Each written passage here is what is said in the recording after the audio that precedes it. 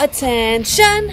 McCarthy Math Academy proudly presents the Math FSA Bootcamp Series. Hello, everyone. I'm Miss McCarthy, and I'm so excited that you are here.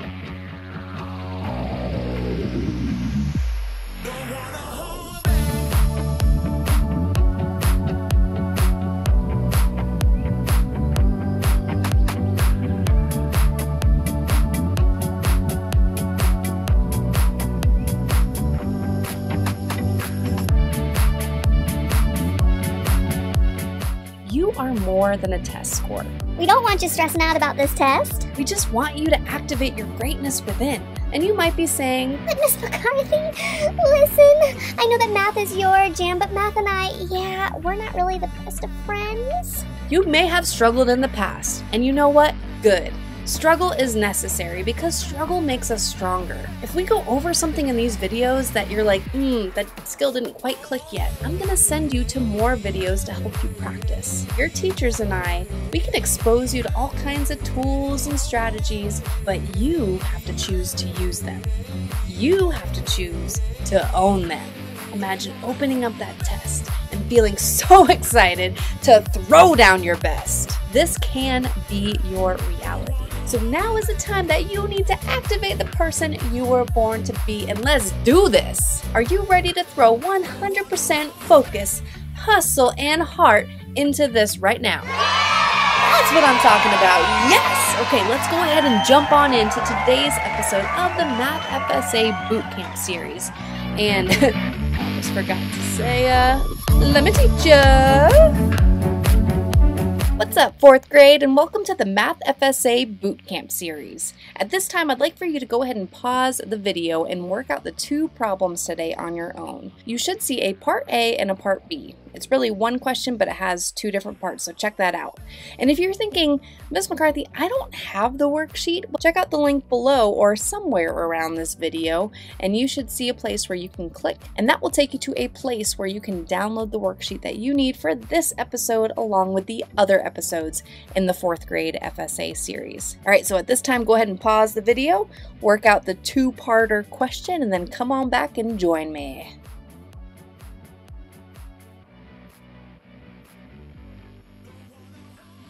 Welcome back, fourth grade. Okay, before we get started, let's just scan this question. All right, I'm seeing this question has two parts. There's part A right here and part B right down here, right? Um, this says question types. So let's go ahead and knock those out before we even get started. So we have part A, which has a grid. So part A is a gridded, oh, you can't see, a gridded response. And then for part B, let's see, we've got four answer choices. So what kind of question is this? Yeah, it's a multiple choice. Cool, beans. And beans are really cool, just so you know. Let's annotate this question. So it says, this question has two parts. And we will answer both. Two numbers are multiplied using the area model shown. So we've got two numbers, which would be here and here. These numbers combined, they are being multiplied using the area model shown. So this whole thing down here is the area model. Okay, you can even right there is the area model. Now, an area model is a strategy for how you can multiply. If you have not learned the area model, you should still be able to be successful in thinking about this problem. Focus on what you know. All right, so the first one says, part A, what is the missing value? Well, the missing value is right here. We don't know what it is, but when we find out, we're going to put it in our gridded response, right? Move this up just a little bit. Okay, so let me check this out as if I'm not even sure what this area model is. I see 6 on this side. I see 6,000 plus 900 plus 40 plus 7. And I'm noticing right away that 6 and 7, if I multiply them, it's 42. And 6 and 40, well, I know that 6, 6 times 4 is 24. And because there's a 0 there, that's why I have a 0 here, because it's a multiple of 10, right? And then here I have 6 and 6. 6 times 6 would be 36, and we have one, two, three zeros and one, two, three zeros. All right, so what goes here? Well, if I multiply 6 times 9, let me use my multiplication mashup to get me there quickly. I'll use the 6 song and get 9 fingers. Ready? Hey, sixes, I just met ya. You're kinda crazy. 6, 12, and 18, 24 and 30, 36 and 40, 2 and 48, 54, 54.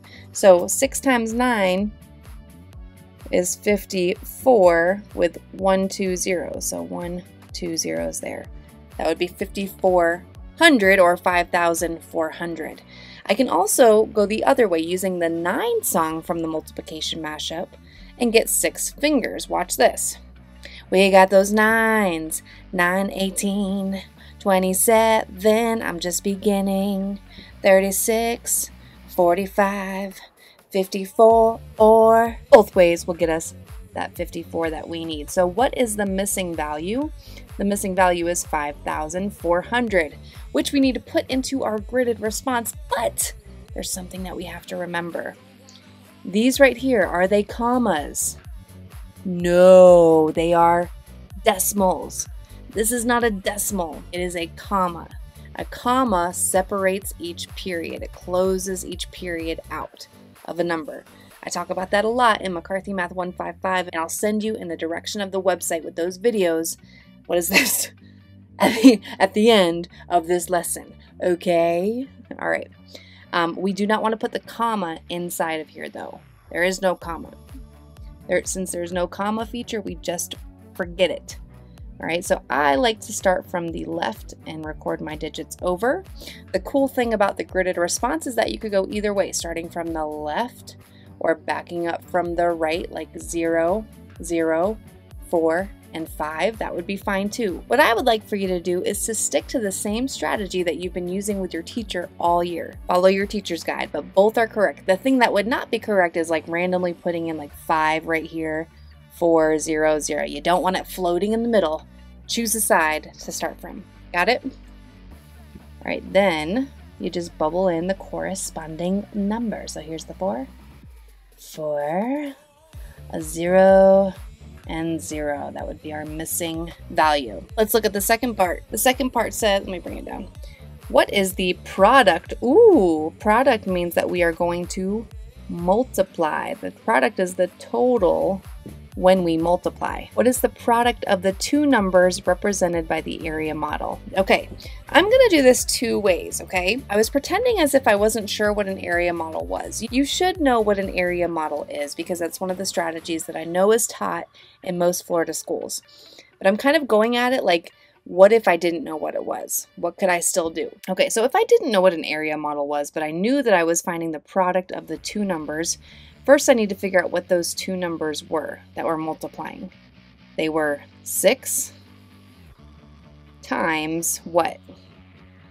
6,000 plus 900 plus 40 plus 7. And when we take all of those and scrunch them together, because right now it's in expanded form, let's put it back into standard form. That would be 6,947.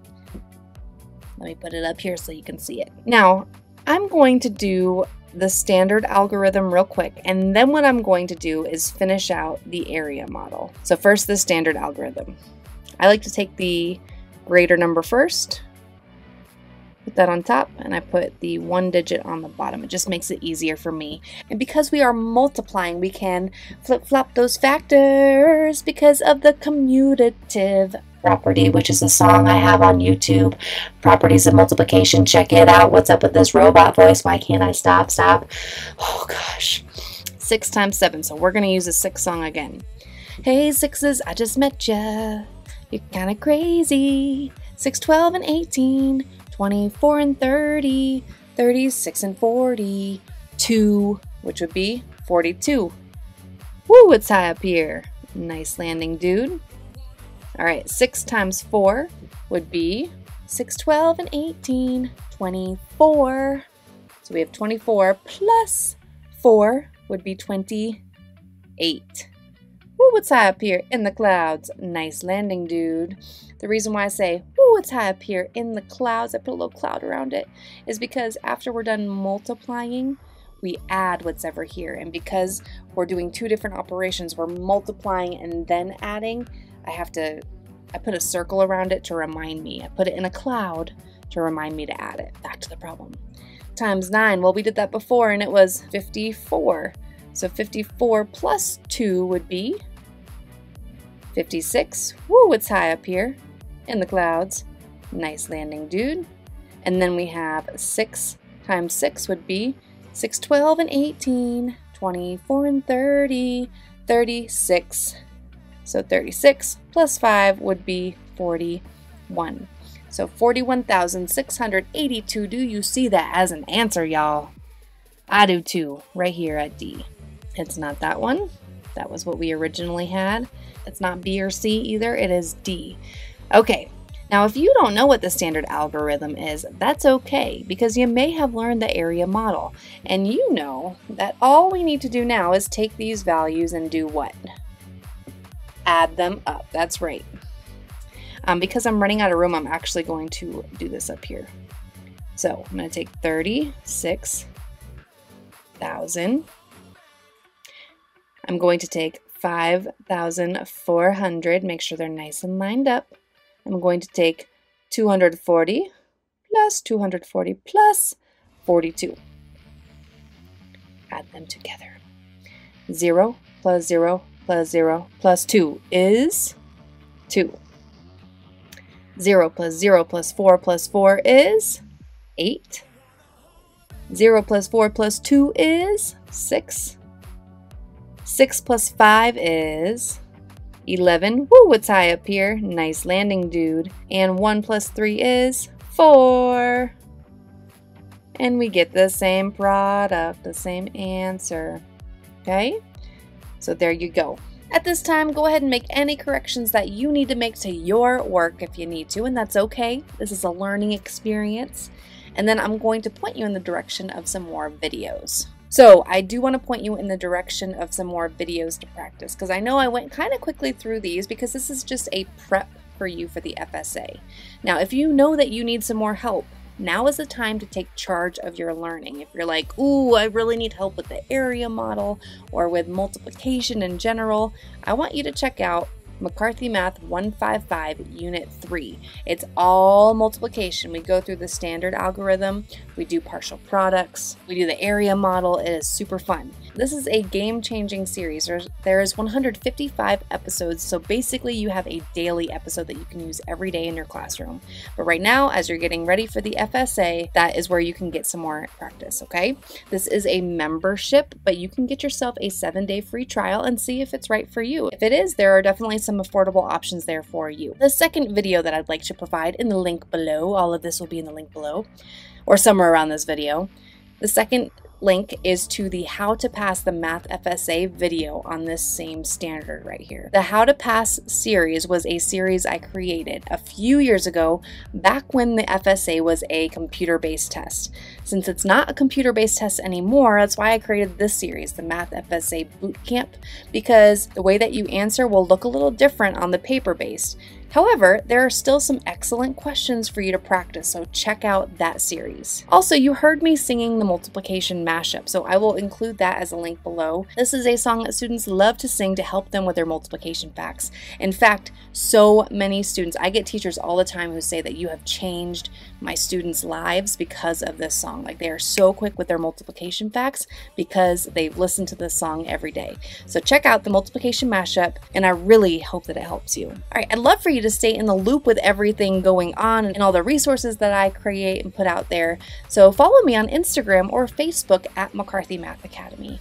You can also follow me on YouTube at McCarthy Math Academy by subscribing. And while you're here, go ahead and like that video. Not for me, because listen, I'm on a mission to make math fun and make it stick and click for students all over. And when you click that like button, it lets other students know that this is a video that they should watch to help them. It gets the word out there. So if you could could do that, that would be awesome. Go ahead, smash that like button, subscribe, and finally, before we go, I just want you to know that you were created for a purpose. That's right, you are the ones that we have been waiting for. So find your light and shine it bright. Watch out, world, because we have a whole new generation of world changers ready to step it up and make this world a better place. When you have the choice, choose kindness, and you always have that choice. And I will see you all on the next episode. Bye, bye, bye.